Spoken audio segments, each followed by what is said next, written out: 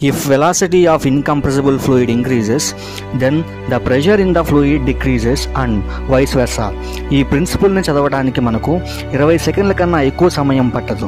కానీ ఈ ప్రిన్సిపల్కి ఇరవై మంది కలిసి దృఢంగా కట్టిన ఇంటి పైకప్పుని గాల్లోకి ఎగరగొట్టగల మహత్తర శక్తి ఉంది.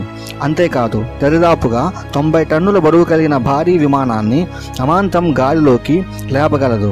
కాలం కలిసి రాక న్యూటన్ ఐన్స్టీన్ సిద్ధాంతాలకు వచ్చినంత పేరు రాలేదు కానీ నిజంగా ఈ సిద్ధాంతం ఒక అద్భుతం. ఎప్పుడైనా ఏదైనా ప్రిన్సిపల్ని కానీ టెక్నాలజీని కానీ తెలుసుకునే ముందు దాని వెనుక ఉన్న మనుషుల్ని వారి కష్టాన్ని తెలుసుకుంటే కలిగే తృప్తి వేరే ఉంటుంది.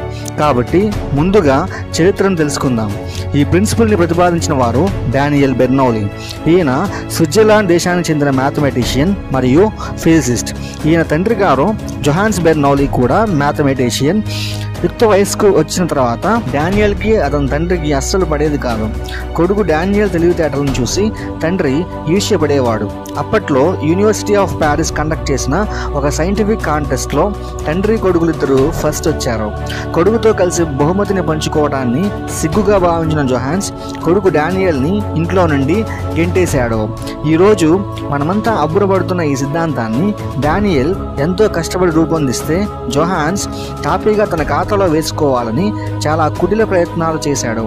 డానియల్ ఈ సిద్ధాంతాన్ని పదిహేడు వందల ముప్పై ఎనిమిదో సంవత్సరంలో తన పుస్తకం హైడ్రోడైనమికా నందు పబ్లిష్ చేశాడు. అయితే జొహాన్స్ పదిహేడు వందల ముప్పై ఆరులోనే నేను ఇది పబ్లిష్ చేశాను అంటూ ఒక దొంగ పుస్తకం వేశాడు. దాని పేరే హైడ్రాలికా. కానీ అప్పటి ప్రజలు జొహాన్స్ని నమ్మలేదు. డానియల్కి బ్రహ్మరథం పట్టారు. ఇంతటి చరిత్ర కలిగిన ఈ సిద్ధాంతాన్ని లోతుకు వెళ్ళి పరిశీలన చేద్దాం. నాకు ఇప్పటికీ బాగా గుర్తు చిన్నప్పుడు స్కూల్లో ఈ సిద్ధాంతం గురించి పాఠం విన్న తర్వాత ఇంటికి వెళ్ళి మొక్కలకు నీళ్ళు పట్టే పైపు చివరను ప్రెస్ చేసి చూశాను. అలా చేయడం వలన వాటర్ వేగంగా బయటకు తన్నుకు వచ్చింది. అక్కడ పైప్ చివరను ప్రెస్ చేయడం వలన పైపు యొక్క క్రాస్ సెక్షనల్ ఏరియా తగ్గింది. కాబట్టి వాటర్ ఎక్కువ వేగంతో బయటకు వచ్చింది. అయితే బెన్నోలీ ప్రిన్సిపల్ ప్రకారం వెలాసిటీ పెరిగితే ప్రెషర్ ఇన్ ద ఫ్లూయిడ్ తగ్గాలి. వెలాసిటీ పెరిగిందని నాకు క్లియర్గా కంటికి కనిపించింది. కానీ ప్రెషర్ని ఎలా ఎక్స్పీరియన్స్ చేయాలో అప్పుడు నాకు తెలియదు. కానీ కొన్ని బ్రహ్మాండమైన ఉదాహరణలు ఈ సిద్ధాంతాన్ని అరటిపండు వలిచినట్టు వలిచి చెబుతాయి. వాటిని చూసే ముందు అసలు ప్రెషర్ ఇన్ ద ఫ్లూయిడ్ అంటే ఏమిటి ఎందువల్ల హెచ్చు తగ్గులు ఏర్పడుతున్నాయి అనేది తెలుసుకుందాం. సాధారణంగా ఫ్లూయిడ్ ప్రెషర్ని అర్థం చేసుకునేటప్పుడు మనలో చాలామందికి ఒక కామన్ కన్ఫ్యూజన్ వస్తుంది. అది ఏమిటంటే ప్రెషర్ ఇన్ ద ఫ్లూయిడ్ని ప్రెషర్ బై ద ఫ్లూయిడ్ అనుకొని పొరపాటు పడుతుంటాము.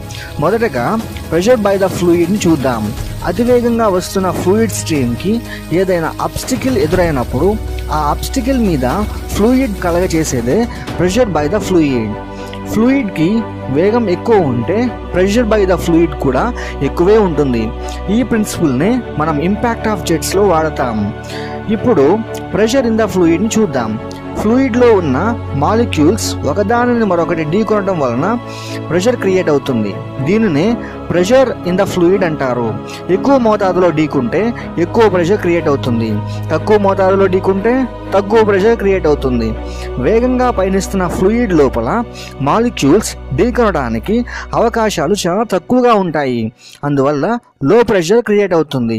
అదే నిదానంగా పయనించే ఫ్లూయిడ్ లోపల మాలిక్యూల్స్ ఢీకొనడానికి అవకాశాలు ఎక్కువ కాబట్టి ఇక్కడ హై ప్రెషర్ క్రియేట్ అవుతుంది. ఉదాహరణకు పేపర్ పై భాగంలో నోటితో ఎక్కువ వేగంతో గాలిని ఊదటం వల్ల లో ప్రెషర్ క్రియేట్ అవుతుంది. క్రింది భాగంలో స్టిల్ ఎయిర్ ఉండటం వల్ల అట్మాస్ఫిరిక్ ప్రెషర్ ఉంటుంది. ఇది హై ప్రెషర్ కాబట్టి పేపరు హై ప్రెషర్ నుండి లో ప్రెషర్ వైపు నెట్టబడుతుంది. అంటే ఇలా పైకి నెట్టబడుతుంది. ఇదే విధంగా ఎయిర్ క్రాఫ్ట్ గాలిలోకి ఎగురుతుంది.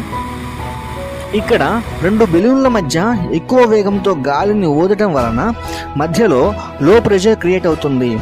బెలూన్లకి ఆ ప్రక్క ఈ ప్రక్క అట్మాస్ఫిరిక్ ప్రెషర్ ఉంటుంది. ఇది హై ప్రెషర్ కాబట్టి అట్మాస్ఫిరిక్ ప్రెషర్ ఈ రెండు బెలూన్లను లో ప్రెషర్ వైపు నెట్టింది. అందువలన రెండు బెలూన్లు ఒకదానిని మరొకటి ఢీకొంటున్నాయి. ఈ కారణంగానే సముద్రంలో ఏ రెండు ఓడలు ప్రక్కపక్కనే వెళ్ళకూడదు అని అంటారు. అలా వెళ్తే రెండు వాడల మధ్య ఉండే గాలికి ఎక్కువ వేగం ఉండడం వల్ల లో ప్రెషర్ క్రియేట్ అవుతుంది. అలా జరిగితే లేటరల్ సైడ్స్ నుండి అట్మాస్ఫిక్ ప్రెషర్ రెండు ఓడలను బలంగా నెట్టేస్తుంది అప్పుడు రెండు ఓడలు మధ్యలోకి ఉరుగుతాయి వేగంగా ప్రయాణిస్తున్న రైలుకు దగ్గరగా ఉండకూడదనడానికి బయట కారణాలు ఏవేవో చెబుతారు. కానీ నిజమైన కారణం ఈ ప్రిన్సిపలే. మీరు కానీ ట్రైన్కి దగ్గరగా నుంచుంటే మీకు ట్రైన్కి మధ్య ఉండే గాలికి అధిక వేగం ఉంటుంది. అందువల్ల లో ప్రెషర్ క్రియేట్ అవుతుంది. అప్పుడు అట్మాస్ఫిరిక్ ప్రెషర్ వెనుక నుండి మిమ్మలను ట్రైన్ మీదకు నెట్టేస్తుంది. కనబడదు కానీ అట్మాస్ఫిరిక్ ప్రెషర్ చాలా డేంజరస్.